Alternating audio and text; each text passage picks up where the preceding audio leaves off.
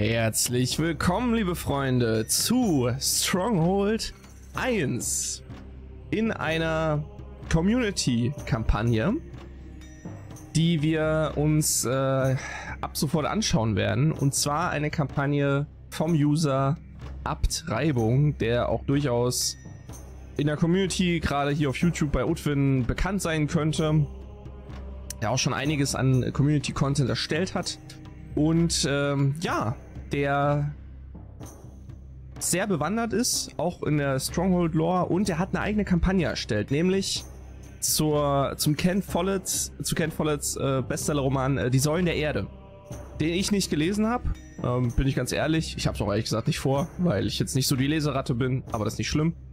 Und äh, er hat mich gefragt, ob ich den Bock hätte, seine Kampagne zu spielen. Da habe ich gesagt, äh, klar, gerne. Und ja, bis äh, November, bis das Stronghold, ähm, die Stronghold Definitive Edition rauskommt, wäre das doch cool, wenn wir das jetzt einfach mal machen. Genau. Ja, er hat dazu auch Videomaterial vorbereitet, auch unter anderem eine Art Preview-Video, eine Art Ankündigungsvideo, Prequel-Video. Und da schauen wir jetzt einfach mal rein.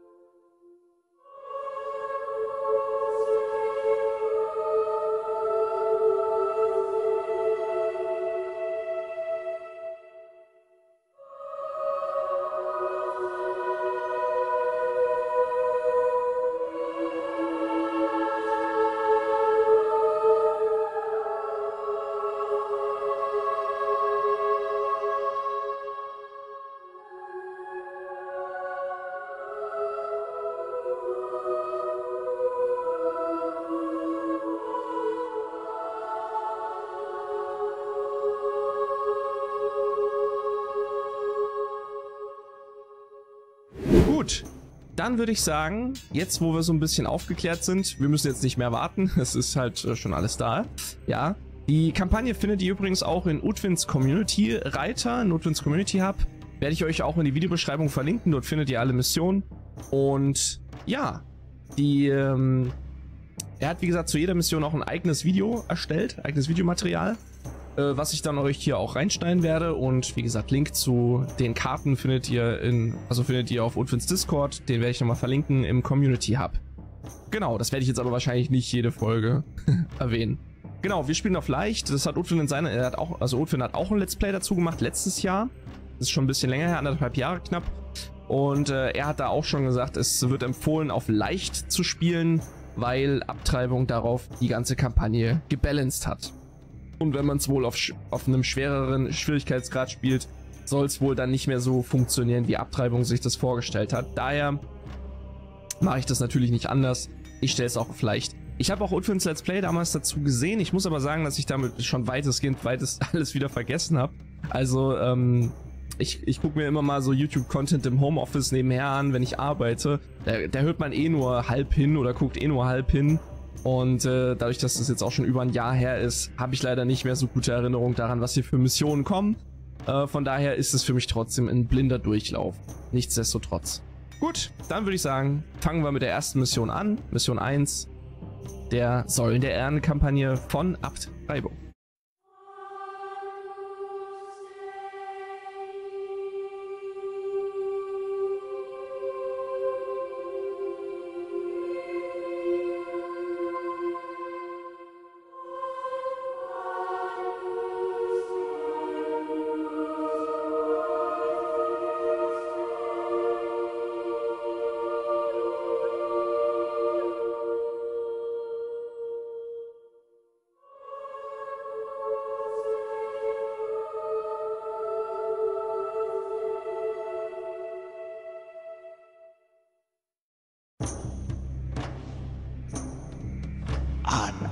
Novembertag wartete Heinrich I., König von England, darauf mit seiner Flottille nach England überzusetzen. Am Abend legte seine königliche Galeere ab. Sein Sohn indes, William Atterning, blieb auf seinem eigenen Schiff der Blanche Nef zurück. Einige Brüder wollten das Schiff und den Thronfolger segnen, doch man verprügelte sie und jagte sie lachend fort. William Atterning betrank sich daraufhin hemmungslos und auch die Besatzung gab sich der Völlerei hin. Schließlich kam der englische Thronfolger auf die Idee, seinen Vater auf hoher See einholen zu können. So stachen sie um Mitternacht in See. Der Wind war zwar günstig, aber die Sicht lag bei Null. Kaum hatten sie den Hafen verlassen, rammten sie den Felsen an der Hafeneinfahrt und 300 Männer des englischen Hochadels ertranken wie die Hunde. König Heinrich blieb es bis zu seinem Tode verwehrt, einen neuen Thronfolger zu zeugen. So entbrannte nach dessen Tod ein 20-jähriger Bürgerkrieg zwischen Stefan von Blois und Mathilde, der ältesten Tochter Heinrichs I. Der Untergang der Blanche Nef ging als The White Ship Tragedy in die Geschichte ein.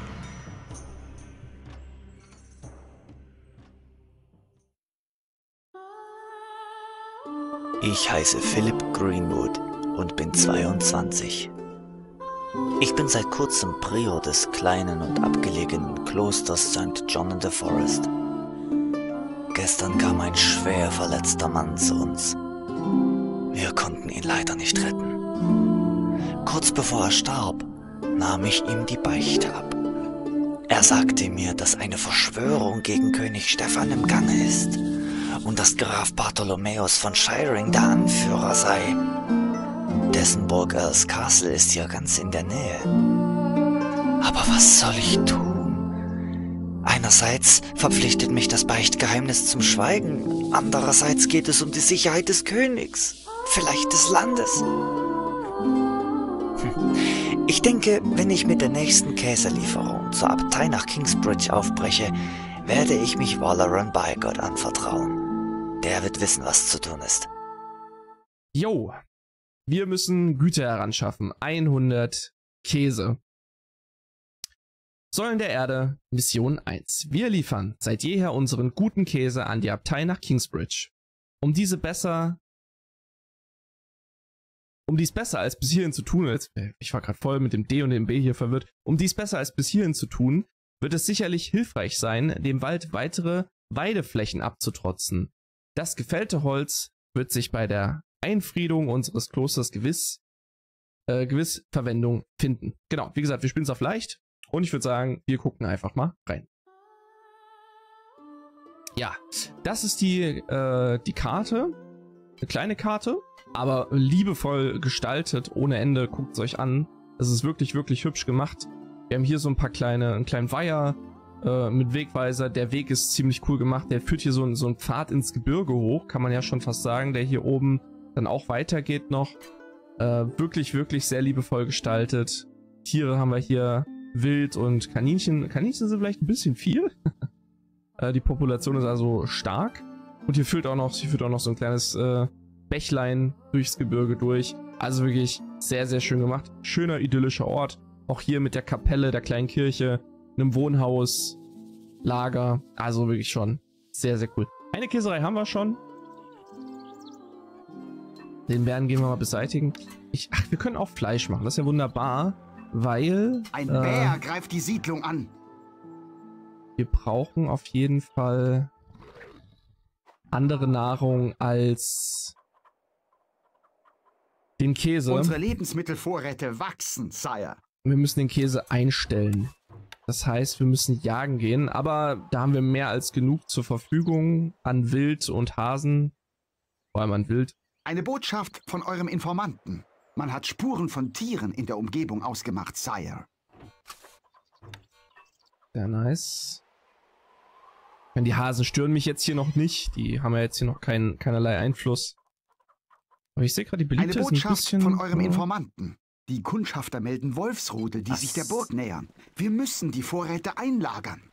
Ihr spawnen jetzt aber nicht wirklich Wölfe, oder? Ich meine, Lord ist ja schon fast down. Oh, gut, die Jäger und Holzfäller könnten das... Bruder, Guten Morgen, wie viel. Wild willst du denn hier noch in der Gegend finden? Hubert Hoppala. Jäger, der sich vom Rudel, also von der Schar Tiere hier wegbewegt. Und jetzt packt er ein und geht nach Hause, oder was? Eine tolle Jagd gewesen, wirklich. Bruder.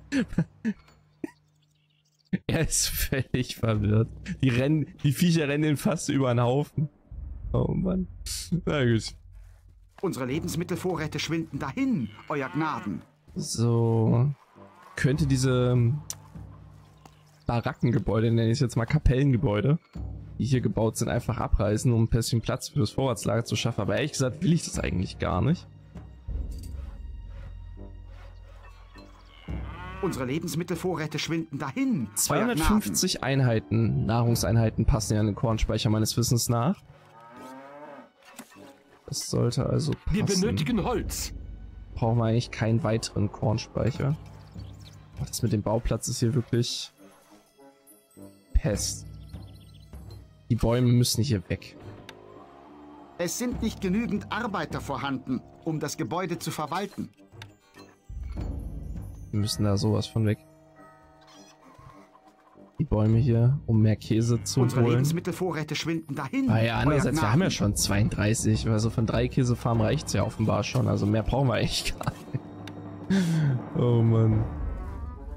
So, wenn jetzt hier doch nochmal Wolfsrudel kommen sollten, bin ich dann doch froh, dass ich noch ein paar Jäger habe vielleicht. Ja, muss man sagen, eine schöne Map. Wirklich, das sieht sehr idyllisch aus.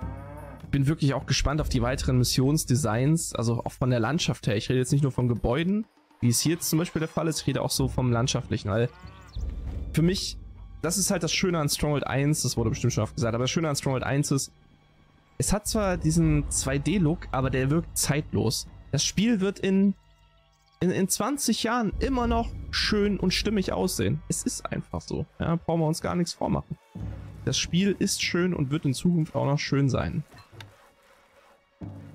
Passt wirklich gar nichts hin, ne? Das ist wirklich alles. Oh, ist das bitter. Hier könnte was passen, aber. Mh. Nee, nee, da geht gar nichts.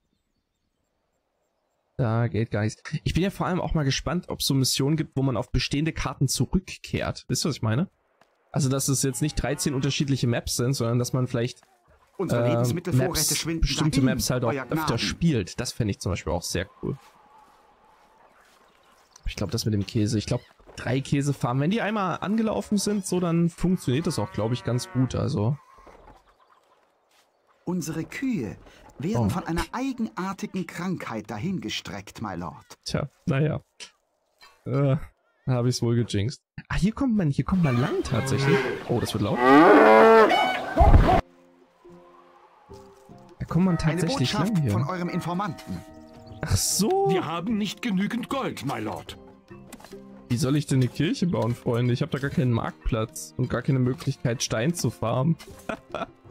Wir benötigen mehr oh, Gold. doch. Oh mein Gott, okay. Ich glaube, ich muss das doch abreißen. Es ist tatsächlich intended, dass ich das wegreiße, damit ich die Kirche bauen kann. Jetzt verstehe ich. Wir benötigen Wow. Gold. Aber das Gold habe ich in der gut klar, ich kann Steuern nehmen halt, ne? Jetzt hätte ich Wir die Steine, Gold. aber jetzt fehlt mir das Geld. Ei, das ist ja eine wilde Nummer hier. Ihr könnt das nicht dort platzieren, my Lord. Da muss ich Keine Steuern nehmen, daran Veränderung habe ich halt gar nicht gedacht. my Lord. Aber ich muss es ja eigentlich auch gar nicht. Ich muss ja jetzt nur noch 40 Käse zusammensammeln und dann ist das Ding durch. Ich muss die Kirche gar nicht bauen. Mann, jetzt habe ich mich hier so verarschen lassen vom Spiel. Jetzt habe ich die Gebäude hier abgerissen. Mann, Mann, Mann. Witzig. Aber gut, naja, ich habe Bauplatz geschaffen für eine weitere Kirche. Das ist doch okay.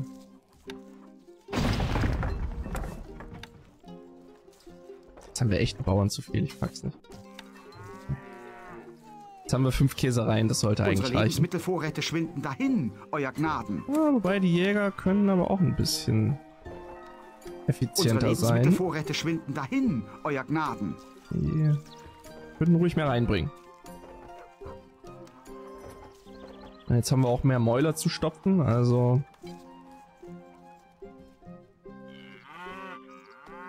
Vielleicht kriege ich ja noch Unsere genug Steuergelder zusammen, Unsere um Lebensmittelvorräte schwinden dahin, das Euer eine Kirche noch zu bauen. So quasi so eine Art Bonusziel, Wir benötigen. Gold. Ah, guck mal, ich könnte den Lord ja sogar heilen mit Hilfe einer Apotheke. Da gehen 50 Gold weg. Wir benötigen mehr Gold. Hm. Mal gucken, was ich Unsere schaffe, ob ich schwinden dahin, Euer Gnaden. ob ich es echt schaffe, die das Gold zusammenzukratzen für eine Kirche oder ob es nicht mehr reicht. Wir werden sehen.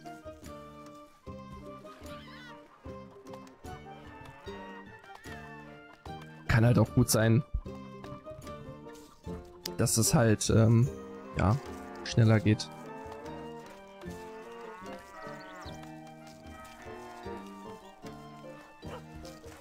Hm.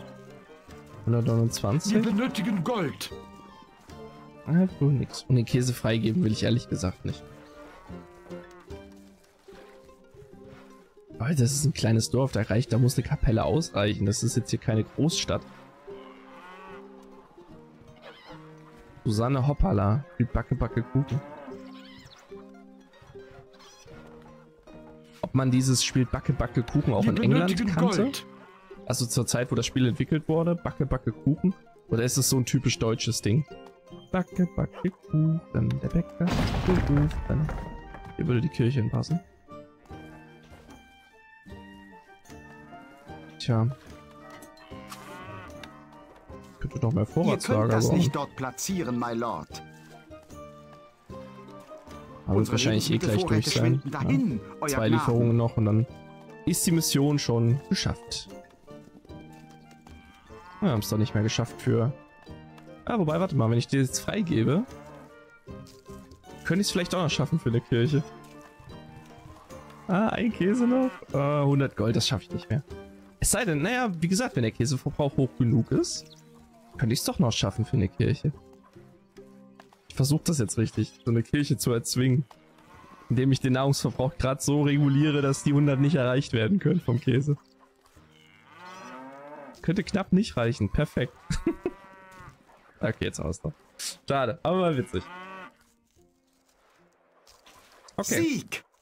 Ja, wird erstmal eine volle Waffenkammer gezeigt. Wunderbar. Schön. Stufe 0, Punkte 0, vorher, vorheriger Bestwert. Wunderbar. Ja, das war die erste Mission der Säulen der Erde-Kampagne. Und äh, die zweite Mission schauen wir uns dann logischerweise in der nächsten Folge an. Da werden wir sehen, was passiert. Ich danke euch recht herzlich fürs Zusehen. Lasst gerne ein Abo und ein Like dafür mehr Stronghold Content. Bleibt gesund. Und ja, können wir gespannt sein, was in den nächsten zwölf Missionen, insgesamt gibt's 13. Äh, ui, jetzt habe ich mich schon ein bisschen gespoilert, war? Hm, na toll. Okay. Macht's gut, bleibt gesund und ciao.